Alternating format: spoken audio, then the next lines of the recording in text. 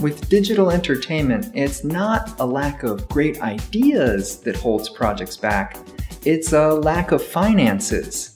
This is the single biggest hurdle for the independent creator. And it's for exactly this reason that we decided to help support in development projects on Playism, to support the creation of interesting and unique content.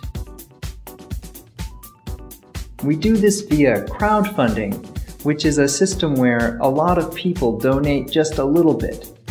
This way, even a small amount of money, say 100 yen, can add up if enough people support the project. In return for everyone's generosity, creators are offering very unique incentives. Anything from a copy of the game once it's finished, to posters or art assets, or even having your name included in the game itself.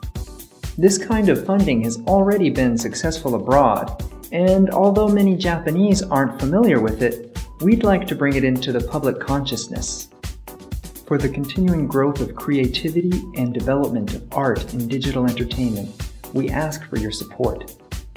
A small donation may not seem like much, but if we had 100, 1,000, or even 10,000 people donate, suddenly it becomes substantial. 皆さんのご参加を楽しみにしています。ありがとうございました。